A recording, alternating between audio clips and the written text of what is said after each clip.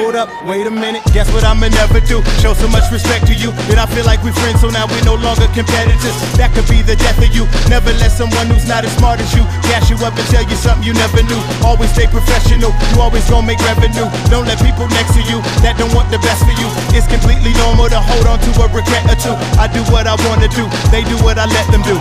Everything is be saying is a fucking lie. It's nothing I can say to you that is real. Remember when you praising the butterfly? Don't you ever disrespect the fucking caterpillar.